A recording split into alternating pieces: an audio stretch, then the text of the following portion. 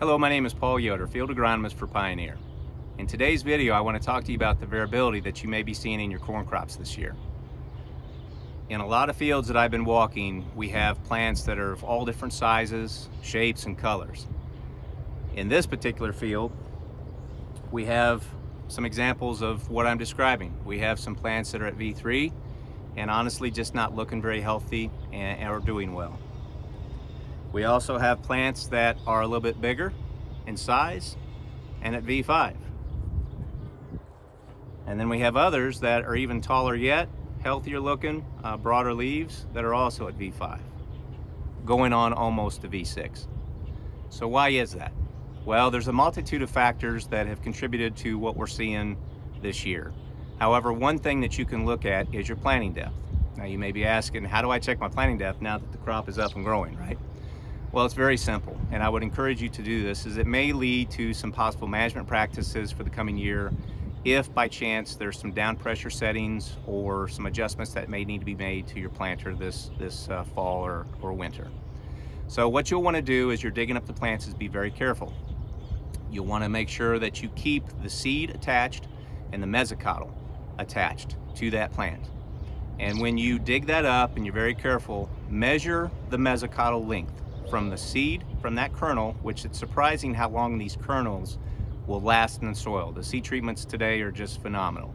So again, be very careful as you're digging. Measure from the kernel, the whole length of that mesocotyl to where the plant is.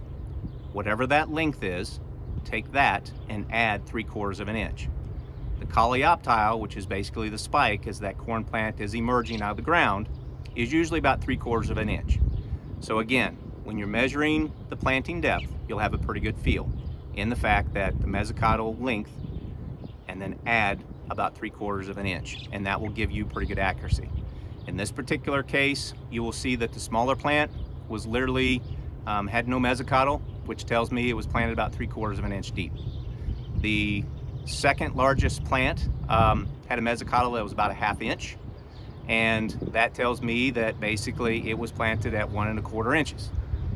The third plant that was taller, the healthiest looking, the furthest along, that mesocotyl was an inch in length. So that tells me that that particular kernel was planted about an inch and three quarters.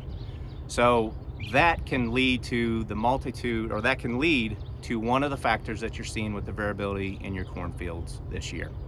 I hope this video has been of use and value to you. Again, if you have any questions, don't hesitate to call any of us here at Pioneer or your Pioneer Seed Agent and we'll be glad to come out and take a look at your field and help you manage through some of these difficult situations that we're facing this year. Thank you, be safe, and take care.